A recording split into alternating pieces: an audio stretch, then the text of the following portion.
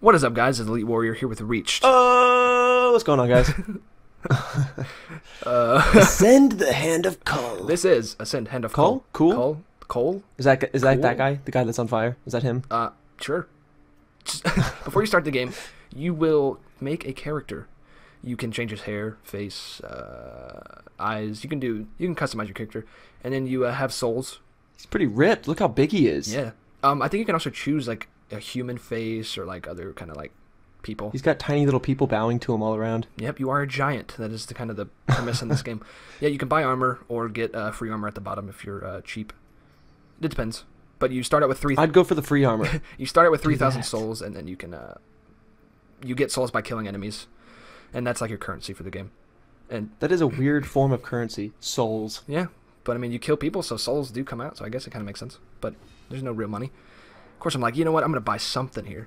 But yeah, He's excited. so the premise of the game is pretty much like to level up and uh, become better overall. And uh, Do work for your god. and so uh, here at the beginning of the game, you literally make like a game-changing decision. Like right off the start, you have to uh, declare your loyalty to a certain god. I think I chose the Void God. Uh, yeah, the Void. There you go. That's what it says on the screen.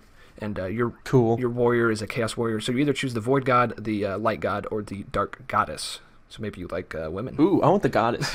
I want that one. Is she hot? I don't. I, you know, I don't. I don't really know. I don't remember. I was. You chose poorly. You've taken your first step into the void.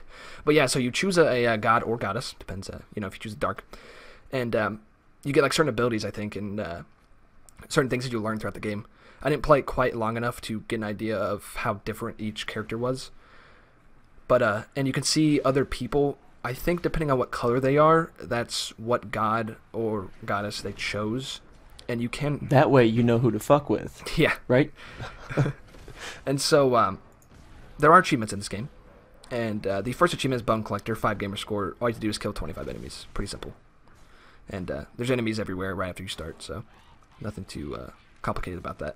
The uh, second achievement is uh, Shift of Power, 5 gamer score. Raise 3 shrines for your god.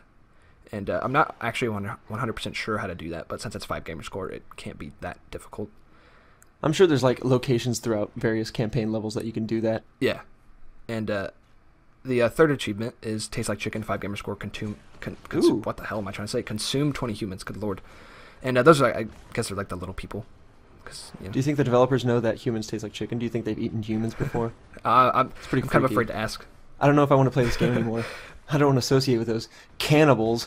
the fourth achievement, Hexmaster, ten gamer score, curse twenty players, and uh, Chaos Chaplain, ten gamer score as well, bless twenty players. So you can curse or bless. You get these uh, spells called uh, Crusade spells, and you can affect players' games. Um, Oh, that's pretty indirectly. cool. I like that. Yeah. So uh, depending on, you can bless them if they're loyal to your god, or curse them if they're not. So you can kind of be like, well, you're not against my god, so I'll help you, or you are against it. Fuck you, I hate you, kind of thing. so it's kind of like an indirect way to uh, screw with them. That's pretty cool. Yeah. The uh, Yeah. sixth achievement, Dungeon Master, 20 gamer score, reach floor 50 of the Endless Dungeon. The endless dungeon. That's that's too many too many uh too many. Yeah, pretty much. Endless. The uh, seventh achievement, Chaos Supremacy, attain 2,000 points of armor. So, I guess once you get high enough, you get a lot of uh, armor points there. The eighth achievement, Killing Fields, 30 gamer score, slaughter 1,000 enemies. And Lord of War, 30 gamer score as well, contribute 50,000 points to the Crusade. And the Crusade is essentially um, who you're loyal to, like which god. So you can contribute that many points to whatever god you're loyal to. And uh, finally, the last achievement, Champion of the Gods, 40 gamer score, reach level 50 or ascend three times. And ascending essentially is sacrificing your character. And it, Is that like prestiging yeah, from Call of Duty? I'm not sure when you do that, but uh, that sounds pretty cool. So, uh, Probably once you're like really high level and you're just like, all right, time to become more boss, and you ascend. ascending. Goodbye.